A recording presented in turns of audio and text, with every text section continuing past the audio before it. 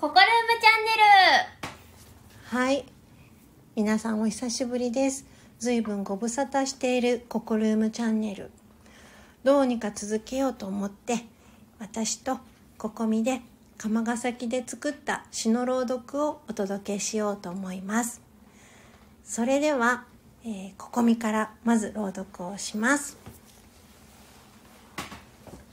てっぺんから下ったとこ試作、えー、茂木秀幸。土地について話した人。東誠。北海道のてっぺんに。宗谷岬ってあるやろ。稚内んとこ。そっから 30km ほど下がった曲がり淵。俺の故郷。山が綺麗やった。利尻富士って知らんか？富士山あんねん。北海道のてっぺん。16で出てきて、それからずっと西成。儲かったで、ペンキ屋。今は、ただでアパート住んでる。役所が都合してくれてん。かみさんとは別れた。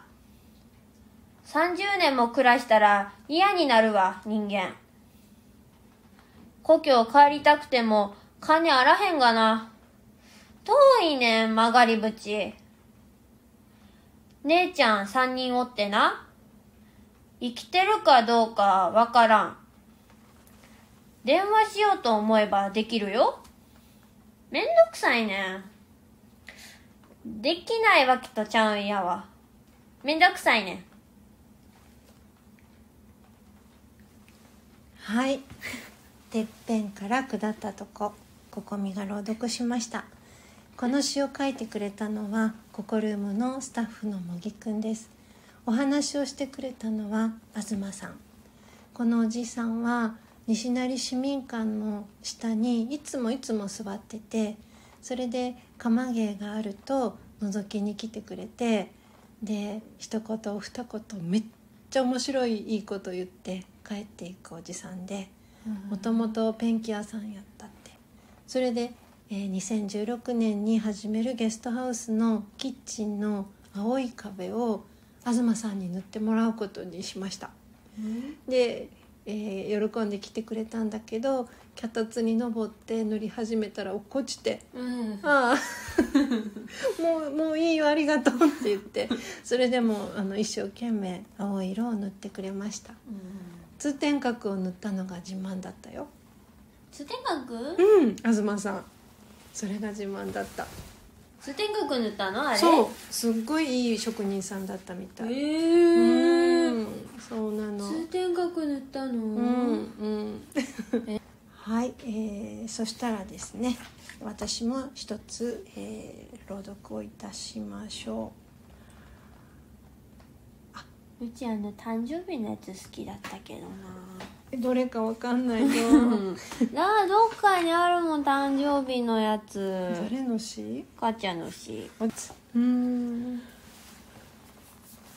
はいじゃあこの詩を読んでみましょう 誕生日のケーキ詩を書いた人モーリー。モーリーさん。話した人私。